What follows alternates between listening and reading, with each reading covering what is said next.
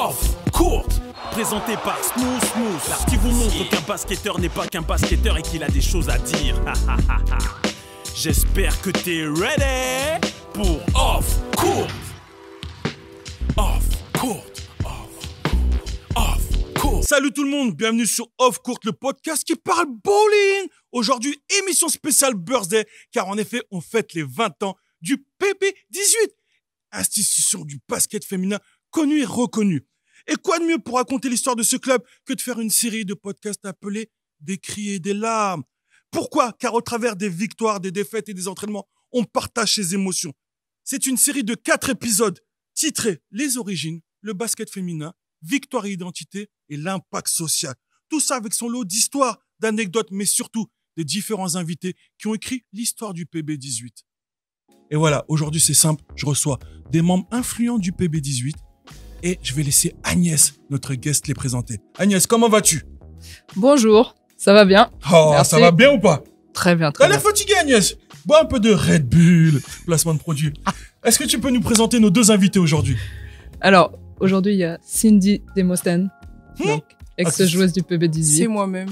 Ah, mouvement de tête, elle est en place.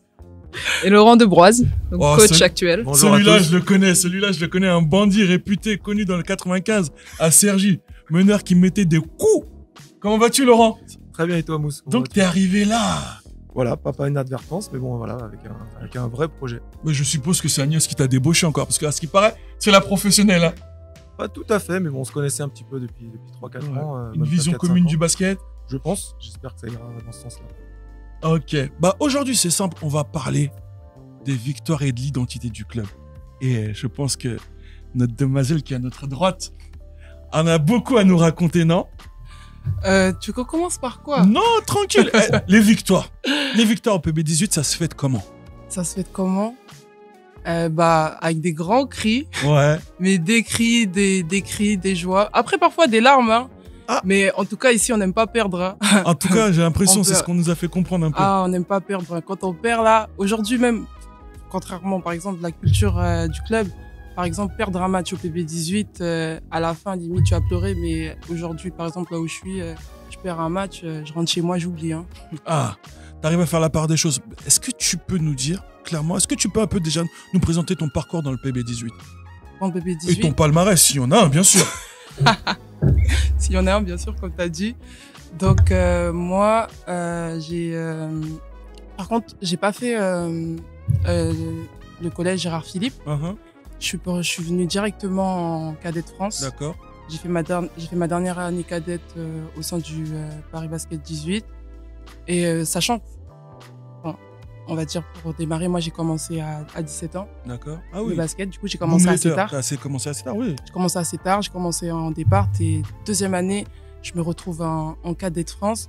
Et je vais pas mentir, pour moi, là, c'est comme si je rapprenais la vie. Même Mhm. le basket, même les lignes, je connaissais même pas ligne de fond. Quand il a dit, il me disait euh, rang, central, je disais c'est où rang central Et les filles, elles se moquaient de moi. Donc moi, après, la, première fois que je suis partie, j'ai dit moi, je reviens plus. hein. Je suis partie, j'étais terrorisée, j'étais avec une amie, j'ai dit ah non non non, moi je reviens plus, c'est trop dur. Mais après, et, euh, et après, je réfléchissais, j'étais dans un club en départ. Je vais pas mentir, toutes mes amies en fait elles montaient en seigneur et moi j'ai dit ah non non non moi je vais pas partir en seigneur sachant que je suis toujours cadette donc j'ai dit bon je vais retourner à l'entraînement. Je repars à l'entraînement la deuxième fois. Je dit bon Cindy c'est pas grave même si les filles elles se moquent même si t'es en retard je disais mais à la fin de la journée un retard ça se rattrape donc euh, franchement euh, quand j'ai démarré c'était vraiment dur parce que pour moi c'était du chinois. C'était du mandarin. Je comprenais rien. On me donnait des consignes. Je voyais les filles comme elles ont fait du basket depuis la sixième moi, j'arrive, euh, j'arrive en tant que débutante. Je vois, elles sont toutes, euh, elles sont toutes avancées. Mais après, justement, ça m'a permis euh, bah, d'avoir des exemples, Mhm. d'avoir des exemples euh, en justement en imitant. Ouais. En imitant, c'est comme ça que j'ai appris, en regardant, en observant beaucoup et en écoutant beaucoup. Et sachant que le coach, il, avait- il nous disait souvent que nous, les grandes, notre motricité est lente. C'est-à-dire, pour apprendre les choses, on prend un peu plus de temps. Et ce qui est vrai, parce qu'un mouvement, je sais pas, parce que Attends, attends, attends. Là, je vais te couper. Quand il te dit ça, ça te pique ou pas? Ah ça pique, bien sûr, parce Ah, que voilà. en train de dire nous les grandes, mais après à la fin de la journée c'est vrai. Ouais. Enfin pas forcément, je dis pas les grandes, mais en tout cas moi je sais que j'ai besoin d'un temps d'appréhension pour euh, déjà pour faire une chose, moi j'ai besoin de répétition. Mhm. Ça veut dire plus je vais répéter euh, une action Ouais. et, euh, et plus je vais me sentir à l'aise. Et enfin, sachant que les autres elles sont déjà en avance, donc moi j'ai besoin de répéter euh, plusieurs fois. Euh, Enfin, au bout du dixième entraînement, je vais comprendre une consigne. euh, donc euh, après c'est assez délicat, mais je retiens des, des très très bons moments. Bon. Laurent, toi qui viens d'arriver fraîchement au, au club, tu connais un peu l'histoire du PB18. Un petit C'est- peu, ouais. Je pense que c'est l'élément principal qui t'a stimulé pour venir ici. Alors effectivement, de par, de par l'identité du club, hein, effectivement, ça fait déjà 6-7 ans que, que j'observe un petit peu les, les jeunes, justement les jeunes filles jouer. Euh, ma première fille, a, ça s'est joué à très très peu de choses, a failli, a failli justement venir jouer au PB18. Ça s'est joué effectivement sur le, sur le plan de la proximité, puisqu'on était issu du, du Val d'Oise. Aujourd'hui, ma deuxième bah, intègre le, le PB18. Je pense que c'est déjà un, un véritable honneur d'intégrer le, le PB18. Clairement. Euh, de par, de par l'identité, effectivement, qu'elle qu'elle véhicule. Cette identité ag- agressive, euh, sur, tant sur le plan défensif que- qu'offensif. C'est des choses, de par moi, un petit peu ma, ma nature me, me ressemblait. Parce qu'effectivement, j'étais pas bien grand, donc euh, il fallait que je développe de l'agressivité pour exister. Oh là là là là là Donc là c'est- là là là, il développe, il a dit la question. Oh là là. Bref, on va pas revenir en vintage parce que Voilà. sinon on va passer pour Donc des milliards. effectivement, je pense que cette identité, euh, cette culture qui se développe, mais pas que, hein, pas que le- le- le- l'identité. Moi, ce qui me plaît également, c'est tout ce qui peut être fait pour les pour les petites, hein, pour les demoiselles, euh, tant sur le plan scolaire, sur le, sur le plan basket, sur le plan éducatif.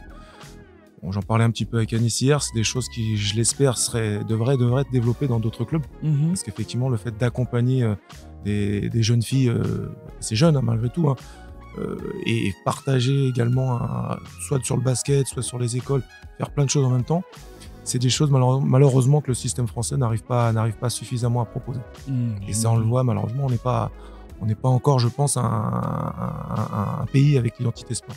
Ah, Avec la culture sport. Je pense que le sport est un est un est une roue de secours à l'éducation. Une roue de secours, elle est pas encore. Je pense que c'est pas reconnu comme ça. Élément principal à l'épanouissement d'un jeune. Mmh, Voilà, à l'épanouissement. Je pense que c'est vraiment important. Une question, Agnès. Excuse-moi, est-ce que je peux te couper? Ou coupe-moi. Je peux pas entendre parler de route secours. Pour moi, c'est un pilier de l'éducation. Tout comme. Attention, Tout comme la- pour l'instant, la France, pour la France, le, sport est une roue de secours. Mais pour moi, ça devrait être un pilier à l'éducation. On est d'accord. Véritable Je vais me taper sur les doigts. Dieu Non, non, non. non. Non, je ne peux pas. Tu as raison, tu as raison de préciser. Mais c'est pour ça que c'est- c'est c'est désolant pour ma part de, de, de le dire. Ça fait mal même de se dire que, voilà, on- des, grands, des grands points de l'éducation, euh, pourtant, on les, on les obtient au travers du sport, Exactement. des valeurs. Je pense que c'est l'école de la vie. hein. C'est l'école de la vie qu'on va pouvoir reproduire, projeter dans le monde du métier. Je pense que euh, les invités qu'on a déjà eu auparavant, euh, qui, qui au- aujourd'hui sont éducateurs, éducatrices pardon, ou qui travaillent en République tchèque, ont eu certaines valeurs, ils ont acquis certaines valeurs au, au travers du sport. La compétition, elle peut être projetée au niveau du professionnalisme aussi. Donc tout ça, ça, ça reste, ça reste ancré. Ça devient une ADN. Ça devient une ADN. Et voilà, j'ai envie de rebondir sur le fait que comment on se prépare comment on se prépare à, à la victoire quand on est un club comme le PB18 qui rapidement a eu des titres de champion de France. Alors, comment on se prépare? On se prépare tous les jours. C'est surtout ça qui est important. C'est, comme on disait, c'est l'abnégation. c'est important, c'est un travail long cours. Euh, des fois, on a l'impression que c'est sur le dernier match que tout se joue, mais pas du tout. C'est sur le, le quotidien. Et le quotidien, il est dur. hein. Il est, ça, nous, on le cache pas pour les, pour les jeunes. On- D'ailleurs, comme on dit, on les félicite aussi d'arriver à tenir parce que c'est un, comme on est vraiment sur le double projet sportif et scolaire. Donc, on attire une importance. Enfin, on a, on a vraiment une grosse euh, pression au niveau scolaire aussi, Mhm. même si, comme on dit, on n'est pas des magiciens. hein. on essaie de au moins de les, les mobiliser sur la partie scolaire et de leur apporter ce qu'on peut. C'est leur ouvrir des voies. Et euh, après, cumuler les deux avec le nombre d'entraînements qu'elles ont, avec, le, avec les exigences aussi qu'on a, parce qu'on est très exigeant, parce qu'on souhaite vraiment pouvoir transmettre tout plein de valeurs euh, par ce biais-là, bah, c'est pas facile pour les jeunes. Et c'est pour moi leur persévérance qui fait la différence. Et quand on voit euh, Cindy, je pense que, bah, comme elle dit, elle est arrivée de cadette départ, et puis en un an, elle était en championnat de France, et elle a fait euh, quand même, elle a quand même été euh, au final. C'était pas Final Four à l'époque, c'était les plateaux, c'est ça? Des plateaux. plateau U18 euh, groupe B, euh, ce qui est déjà très bien. Elle a joué, elle a joué ensuite en, en senior aussi avec nous et elle a fait un très beau parcours parce qu'elle a réussi à arriver en NCA aussi. Ce qui n'est pas une, anecdote, j'allais dire. Voilà. Euh, donc voilà, pour moi, c'est vraiment cette persévérance pour les jeunes. Moi, j'aime bien Agnès parce que elle fait mon podcast aujourd'hui. Elle m'assure mes transitions. Euh, quand tu parles de, de dévotion, de, de travail, de, de soutien, de pression, toi, en tant que joueuse, à un moment, t'as craqué ou pas? Quand tu étais au PP18 dans tes années les plus dures, en fait, en fait quoi? Parce Ouais. que t'arrives de départ, t'es- tu manges à tout va. Moi, j'ai une petite anecdote. Je me souviens un jour, en fait, c'était un match. Euh, j'y étais pas. J'y étais pas, j'ai raté deux paniers et du coup, j'étais sur le banc. Ensuite, le coach, il me dit, Cynthia, rentre sur le terrain. J'ai dit non. Pardon? J'ai dit non. Il m'a répété, il a dit, j'ai pas très bien entendu. Il a dit, Cindy, tu peux rentrer sur le terrain? J'ai dit non, si je rentre, je vais faire n'importe quoi. Il m'a dit, tu sais quoi, regarde les clés là, du vestiaire là. Tu prends les clés là et tu, il a dit, tu sors là. Tu nous attends même pas à l'intérieur du gym. Il a dit, je regarde même pas le match là. Je t'attends dehors. Et moi, ça, je disais, ah Et mais après, au final, il fallait que j'assume, euh, fallait que j'assume euh, mon comportement. Mhm. Du coup, c'était jusqu'au bout. Et moi, comme j'avais beaucoup de fierté, du coup, je suis partie. J'attendais les filles euh, à l'extérieur euh, du gymnase. Mhm. Bon, à la fin, ils ont gagné. Ouais. Mais après, bon, après on apprend, voilà. J'ai dit, c'est dit, tu es têtu, tu es, tu es sorti, tu es sorti du terrain, euh, tu es sorti du gymnase. J'attendais, je suis parti attendre euh, mes coéquipières, mais à la fin, euh, bah, j'ai craqué au sens, euh, enfin, je, je le sentais pas, alors que d'habitude, enfin, bah, on essaie. Après, on est des êtres humains, ça nous arrive, euh, voilà, de, De craquer? de craquer. Et c'est humain, c'est comme au travail, et voilà. Oh, Big up, euh, big up au titre du podcast, t'as dû crier des larmes, t'as craqué. Dis-nous, t'as Bah, pleuré Bah bien sûr, j'ai bah, bah, pleuré parce qu'après quand j'expliquais, en fait les gens me disent mais Cindy pourquoi t'es là? J'ai dit bah parce que j'ai dit que je voulais pas rentrer sur le terrain et tout. Et du coup je regrette, j'ai laissé mes coéquipières. euh, du coup là je me sentais pas responsable parce que Mhm. à la fin de la journée bah une équipe c'est faut être responsable et et dépendre aussi. Enfin on dépend de nos coéquipières comme nos coéquipières dépendent de nous.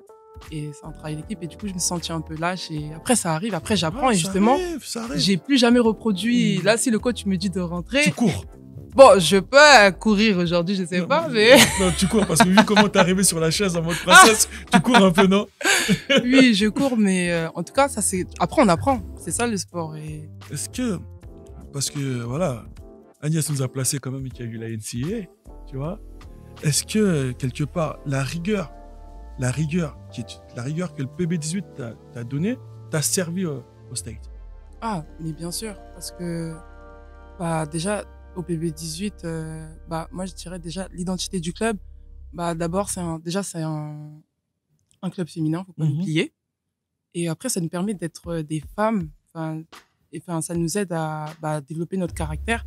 Et justement aux États-Unis, euh, bah grâce à par exemple la rigueur dès le départ, premier entraînement, moi la rigueur, moi je connaissais pas la rigueur déjà Mhm. je viens de départ et j'arrive, euh, je vois que tout le monde écoute.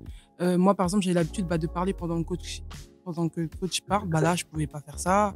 Et je vois que tout le monde, enfin, on respecte le coach, on respecte, euh, on, on respecte les autres joueuses et euh, on a le même objectif. Et c'est ça aussi la rigueur, c'est c'est aller vers le vers, vers, vers le même objectif. Et, et du coup, aux États-Unis, bah, je me dis, j'arrive. Bah, il y a déjà cette rigueur. Les filles, elles sont, bah, les États-Unis, c'est connu pour ça. Il y a déjà cette rigueur. Et moi en fait du coup bah je suis déjà je suis bien. Mhm. je suis pas mal à l'aise euh, je sais ce que je veux. On veut le même objectif on veut gagner. Et, et du coup bah grâce à cette rigueur que j'ai euh, depuis que j'ai depuis que j'étais au Paris Basket 18 pour moi bah c'était c'était simple. Pour moi c'était pas c'était pas nouveau de voir des personnes euh, qui respectent les règles.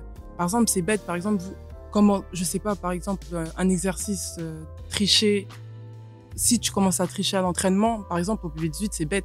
Juste tricher, euh, faire, je sais pas, quand tu fais un aller-retour et tu touches pas la ligne, bah ça c'est déjà juste ça, c'est petit, mais ça commence comme ça. Parce que si tu te permets de faire des petites erreurs, euh, déjà à l'entraînement, bah en match tu les feras. Mhm. Tu tricheras, tu trouveras un moment pour tricher. Alors que du coup, si tu te forces à ne pas tricher, et après, bah, ça devient instinctif. C'est l'ADN, quoi. C'est ça. C'est l'ADN. Agnès, on va puiser au fond de ta mémoire. L'une des victoires qui t'a plus ma- le, qui t'a le plus marqué. L'un des titres qui t'a le plus marqué. Je sais qu'ils t'ont tous marqué, tu vas me dire, politiquement correct, mais je suis sûr qu'il y en a un qui a une saveur particulière. Non, franchement, il n'y en a pas un Oh qui. Non, je ne vais pas mentir, je ne pas, je suis pas Agnès, politique, donne-moi à moi. manger Donne-moi à manger, Agnès Je peux te donner tous les titres qu'on a eu. Va- je bah, te donne-moi tous les euh, titres. voilà, je- Donne-moi tous les titres. Alors, 2004, championne de France U15. 2005. Attends, attends, attends, championne- attends. 2004, champion. C'était le premier titre du Voilà. PB18 Comment au ça niveau national. Comment ça se passe On va parler de celui-là. Le premier d'union de c'était- l'histoire. Franchement, c'est- bah, c'était.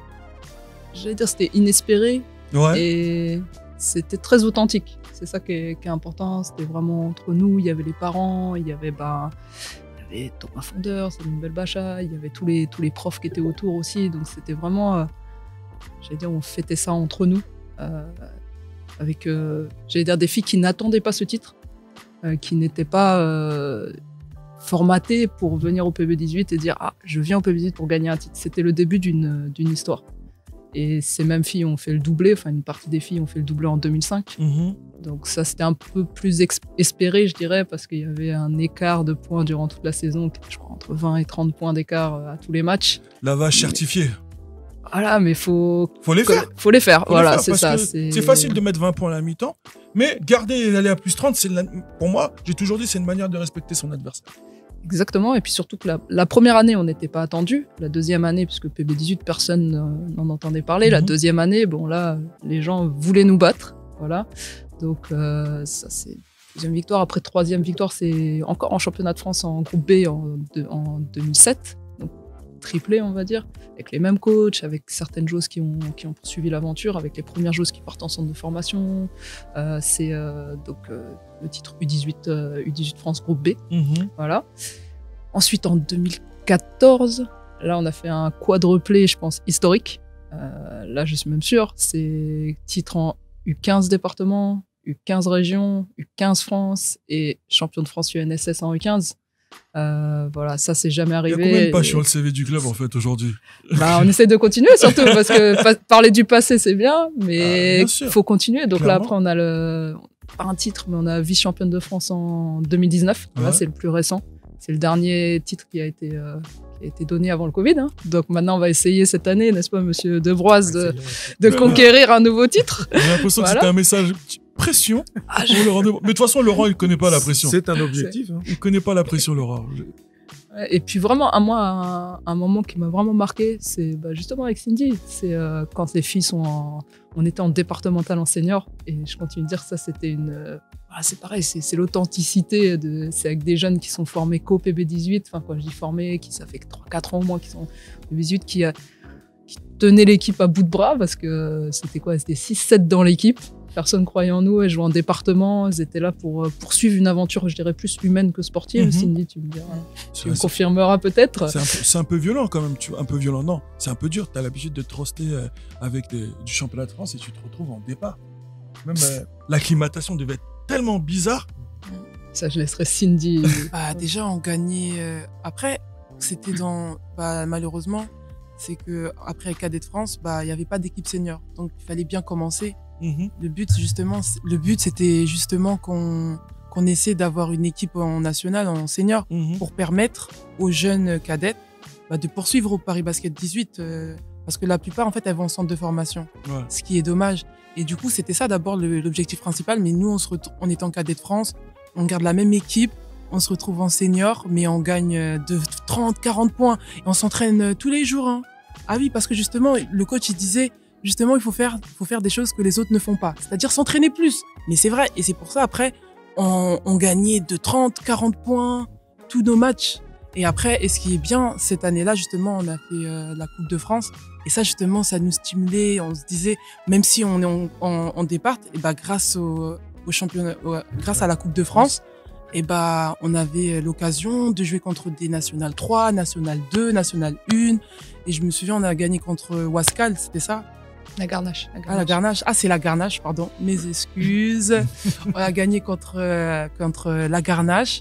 Et pour nous, c'était un exploit. Ils, ils avaient juste carrément, il y avait, euh, ils ont fait un article sur le Parisien, l'histoire de Cendrillon. Je me rappelle encore parce que une équipe de départ qui bat euh, la- une équipe de National 1 et, et franchement, ça, c'était, on était fiers. Enfin, et les matchs, ils étaient bien préparés, le speech du coach. Chaque joueuse, on devait préparer également. Il y en avait une qui était désignée pour faire un speech à son équipe pour les, pour les motiver et ça fonctionnait. Et je me disais, enfin, t'es fier d'appartenir à cette équipe. Mhm. On dit on est 5, 6, 7, mais on sait qu'on est soudés et que euh, on a besoin de l'une de l'autre pour gagner. Ah, que de belles phrases. Que, que, que de belles phrases. Mais dans tout ça, il y a toujours une petite ombre de. Un petit nuage gris. Un petit nuage gris. Et ça, c'est le genre de questions qu'on pose souvent à d'anciens présidents ou d'anciens directeurs techniques ou euh, des gens représentant le club. Agnès, euh, avec tout ça, tu es forcément regardé différemment vi- vis-à-vis des autres clubs. Il y a forcément euh, un peu de jalousie. Comment toi tu le gères? Déjà parce qu'on est tous humains pour ta personne et comment le club comment tu le gères pour l'intérêt du club? Je dirais une chose, c'est ils peuvent regarder. Hein. Et maintenant, Elle aime trop ça, regardez seulement. non, mais il faut qu'ils regardent. Après, tant mieux s'ils nous regardent. Ça, c'est une bonne chose parce que ça veut dire que finalement, on fait quand même des choses qui, qui intéressent les autres. Qui... Après, c'est vrai que c'est fatigant d'entendre constamment que les, que les points négatifs. Maintenant, moi, honnêtement, j'attends rien des personnes extérieures. Si Bien les sûr. personnes veulent, veulent venir nous aider, qu'ils viennent. Mhm. Après, moi, je me dis, nous, on est là pour les jeunes, on est là pour avancer. Euh, on est, le but, c'est de faire avancer tout le monde, de faire avancer le club et les jeunes. Ouais. Et c'est pas des personnes extérieures qui vont pouvoir nous, nous, nous faire tomber. Et Ah, à nous d'être justement, moi, je me dis, plus il y a de personnes qui nous regardent et qui, qui, qui nous jalousent, parce que c'est le cas aujourd'hui, je pense. Euh, Ma et ben, à nous d'être meilleurs. euh, Ma question était plus orientée vers euh, c'est jaloux. Que veux-tu que je leur dise?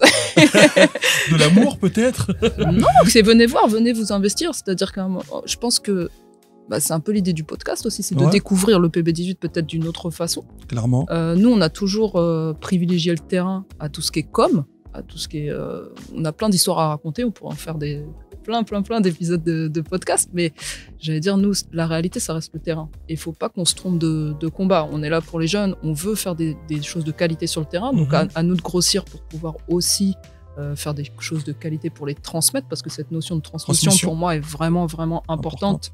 Et euh, ça, c'est enfin, un des points clés, je pense, parce qu'il faut, il faut connaître l'histoire pour pouvoir la transmettre. Mais après, si les gens ont envie de, de critiquer, on ne pourra pas les empêcher de critiquer. Maintenant, s'ils ont envie de s'investir, par contre, nous, on est. S'accueille à bras ouverts, il n'y a pas de Mhm. souci, il n'y a pas de. Nous, moi, je vois la concurrence comme quelque chose de sain. Ouais. Euh, de mon côté, peut-être que les autres ne le voient pas comme ça, mais moi, je me dis, plus il y a de clubs qui vont se développer sur le secteur féminin, plus ça nous forcera, j'allais dire, à être bons, parce que bah, quand il y a de la concurrence, c'est la compétition, bah, à nous d'être meilleurs pour pouvoir euh, rester en place. Et sinon, on est dans une routine. Et la routine n'est jamais bonne. Et moi, je pense que le PVD, honnêtement, bah, Laurent peut-être confirmera, il n'y a pas de routine. Chaque jour est, chaque jour est différent. Chaque jour est différent. Remise en question. Et une dernière petite question. Quand est-ce qu'on voit Monsieur Ciotta et la FFBB euh, dans les tribunes euh, du PB18 Avec, avec plaisir. Alors, moi, je pense que Ah, j'adore celle-ci je vais l'inviter. Je vais l'inviter pour les 20 ans, pour le- les célébrations du, du 19 décembre. On va l'inviter. Et j'ai- j'aimerais voir aussi une autre personne bientôt dans les tribunes du PB18. Qui donc? Monsieur David Kahn. Parce que Monsieur David Kahn va arriver euh, dans le 18e avec son équipe de Betclic Elite. Et il peut pas faire sans nous. Il sait, il, il sait, il a besoin d'une équipe féminine. Paris a besoin d'une équipe en Ligue féminine. Et on va l'accueillir et tout va bien se passer, Monsieur Kahn. Laurent, Laurent, toi qui arrives, euh, toi qui arrives euh, en, en dernier petit nouveau, d'après ce qu'Agnès a pu dire, euh, on attend encore d'autres titres. Ça, ça peut, ça peut et ça doit être un Ouais. objectif à, plus ou moins court terme, effectivement, sans, sans aucune pression. hein. Non, Il est devenu sûr. sérieux là. Il a un côté un peu sérieux. C'est l'instinct qui parle là. Non, effectivement, moi, tu... moi effectivement, j'ai pas suffisamment de, de vécu encore avec le plus 18, parce que ça fait, on va dire, 3, 3 4 mois que, que je suis ici, même à peine. hein. Donc, si tu veux des anecdotes, j'en ai pas suffisamment. Mais effectivement, on peut parler effectivement de- du gros, gros projet dont tu as évoqué Agnès tout à l'heure. C'est, c'est l'accompagnement qui peut se faire avec, avec les enfants. Mhm. Alors, peut-être la petite anecdote hein, qui peut faire sourire, c'est, c'est celle de ma fille par rapport à tout ce qui est entrepris euh, euh, pour, pour les demoiselles qui sont ici. Parce que, bon, au-delà de l'entraîneur et des entraîneurs, on a quand même un, un kinésithérapeute qui est à notre, euh, à notre disposition le, le mercredi et même par, par d'autres fois également. Il y a un préparateur mental qui accompagne les gamines. Il y a une, petite, une psychologue qui est à la disposition des enfants. Euh, voilà, donc toutes ces choses-là, moi j'ai ma fille qui, quand elle a vu ça, elle m'a dit Mais papa, on est dans un col pro ou J'ai fait, bah, tu vois, ça y ressemble. Donc, pour rebondir à ce- sur ce que dit Agnès, bah, à bon entendeur, salut. hein. Si, si Monsieur Kahn est ouvert à, à différentes opportunités pour le PB18 et notamment dans le secteur féminin, avec plaisir, parce que je pense qu'il y a, et tu le sais aussi, hein, que ce soit Paris, Marne-la-Vallée et d'autres, d'autres villes franciliennes, il y, a, il y a matière à construire quelque chose de beau et de, de fort euh, en Ile-de-France, malheureusement. Voilà, je pense que c'est un autre problème qui nous dépasse. C'est un autre sujet qui nous dépasse et euh, ça, il faudra plus de plus de une heure de podcast pour en, pour en débattre. Agnès, elle a envie de dire quelque Non, chose. mais je suis pas d'accord encore une fois. Ah, mais, mais pourquoi, pourquoi ça nous dépasse? Non, à Non, nous d'aller, à non. nous d'aller, à nous d'aller chercher, le ouais. sujet et à nous d'être, euh, d'être force de Oui, ce que je proposition. veux dire, ça on nous ne sera dépasse, pas dépassé, on-. Quand je dis qu'on nous dépasse, c'est Mm. dans le sens où aujourd'hui on parle des 20 ans du PB18 et que si on veut parler de du fait que les clubs doivent plus se soutenir que quand on pense à leurs intérêts individuels, ce sera pas, on n'est pas sur le lieu, on n'est pas sur l'emplacement adéquat. C'est peut-être le début. Ah, peut-être le début. On en discutera. Je t'inviterai à un de mes la podcasts, de transition mes podcasts pour, pour en débattre. En tout cas, merci beaucoup, Cynthia. Cindy. Cindy, pardon. Cindy. La magnifique Cindy, la diva Merci, Cindy. c'est moi-même. Là, elle a répondu. Merci, Laurent. Diva Laurent, non, euh, le magnifique Laurent. non, Laurent the point guard.